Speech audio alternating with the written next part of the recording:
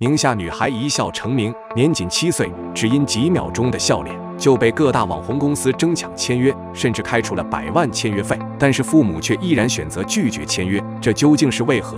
二零二一年，网络平台的一则视频吸引了无数人的眼光。视频并没有什么特别炸裂的运镜技术，也没有华丽的内容装点，只是一个简简单单的记录生活的视频。但是点击量却超过了四千多万，打开评论区几乎都是一样的内容。这个小女孩是谁？她好漂亮！云云。视频中，一个扎着马尾辫、身穿红色小棉袄的女孩朝镜头这边看了过来。第一次没有发现镜头，他看了一眼就转过了脸朝另一边看去。但是他很快，他就意识到刚刚镜头好像在拍摄。他下意识转过头来确认，发现真的在拍这边。他顿时不好意思，捂嘴羞涩的低头一笑。也正是这一笑。让广大网友们纷纷称赞，原来古时候说的“小小年纪就有倾城之姿”是真的存在的，“美人胚子”这个词也是真的。这段视频的拍摄者正是女孩的支教老师马瑞。马瑞是一名九五后的老师，因为也是农村走出去的孩子，所以他大学毕业后就来到了宁夏固原马涧乡的大坪小学支教。因为这里的生活条件非常差，所以之前来这里支教过的大部分老师都在支教期结束后选择了离开。回到自己的城市生活，但是马瑞选择了留下来，因为学校太缺老师了，所以为了弥补老师空缺的问题，学校只好让一个老师身兼数职，带两门或者两门以上的课程。马瑞就是数学老师兼音乐老师，平时没事的时候。他就喜欢用短视频的形式记录下自己在这里的美好生活。那天他也只是像往常一样，想要记录下孩子们在放学时的生活。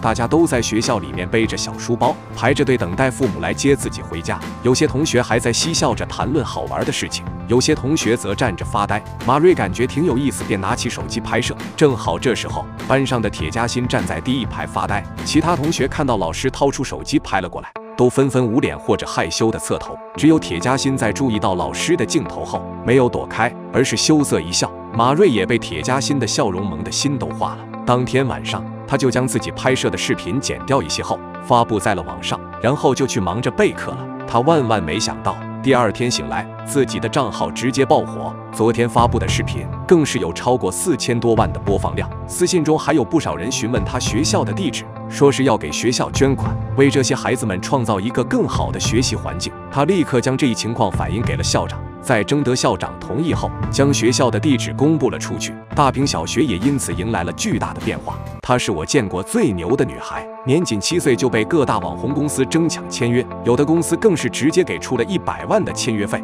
而这一切只因为老师的一段视频，再简单不过的视频，却一晚破几千万的点击量。就在大家以为这个小姑娘会成为下一个丁真的时候，却没想到父母果断拒绝了网红公司的签约。他就是铁嘉欣。自从铁嘉欣在网络上因为那羞涩一笑爆火之后，不少企业。慈善基金会以及个人爱心人士都关注到了大坪小学。原先的大坪小学只有几栋破旧的平房教室，使用的也是传统的教学工具。像一般城市里的学校都已经用上多媒体教室了，但大坪小学还是黑板粉笔。学校的食堂提供的饭菜也不像城市学校那么丰富，而且做饭的灶台还是那种老式的自己垒砌的土制灶台。操场也是破破旧旧的。而铁嘉欣的爆火，让大坪小学的境况得到了极大的改善。原先破旧的老教学楼旁边，建起了好几栋更加宽敞明亮的新教学楼，并且在教室内还装上了空调。城市学生能享受到的多媒体教室，大坪小学也装上了。有了多媒体，孩子们的课堂变得更加丰富多彩。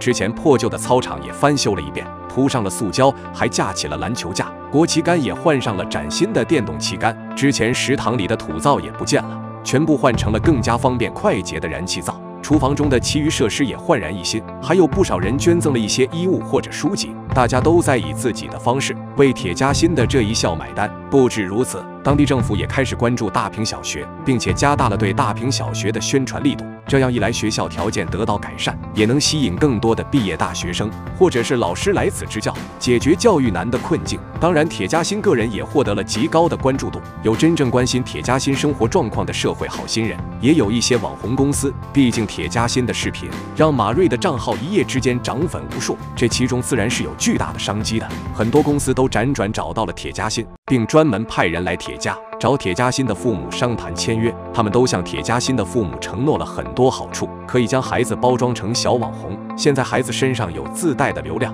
再加上公司的包装和运营，一定能火。等等。有的甚至开出了百万签约费，希望能让铁嘉欣加入自己的公司。但是面对诸多公司的邀请，铁嘉欣的父母却并没有心动。思索过后，果断拒绝了各大公司的签约邀请。这一举动让很多人都不理解。不少网友表示，铁父铁母真死脑筋，这一百万能让孩子接受更好的教育，见见外面的世界。这样的机会可能一辈子都遇不到一次，错过了这次，可能就再也不会有机会了。等孩子长大，这一百万还不知道要多久才能挣到。然而，面对这些声音，铁父铁母却并不在意，因为他们只想给孩子一个安静的成长环境。宁夏女孩一笑成名，年仅七岁，只因几秒钟的笑脸。就被各大网红公司争抢签约，甚至开出了百万签约费，但是父母却依然选择拒绝签约，这究竟是为何？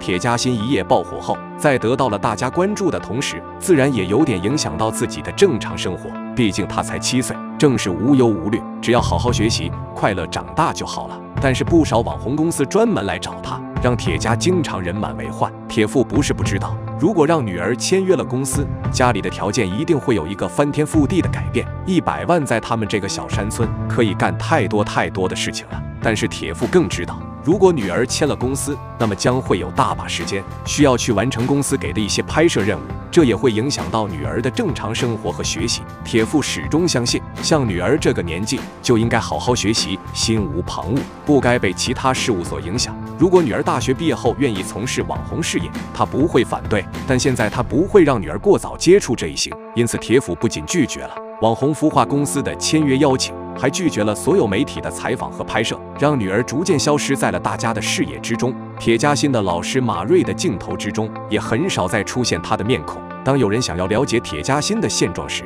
老师只是回复：嘉欣现在的生活非常快乐，也很平静，每天正常上学、放学，学习成绩依旧非常优秀。在得到嘉欣现在生活的很好的消息时，我想我们也能放心。网友们对于铁父给出的拒绝签约的理由，也纷纷称赞其睿智，觉得父亲是真的为女儿的身心健康而着想，相信铁嘉欣会在父母的培养下。变成一个优秀的女孩。毕竟铁嘉欣和其他小童星不一样，铁嘉欣只是因为那明媚的笑容而被大家关注，也没有什么才艺或者其他值得被关注的地方。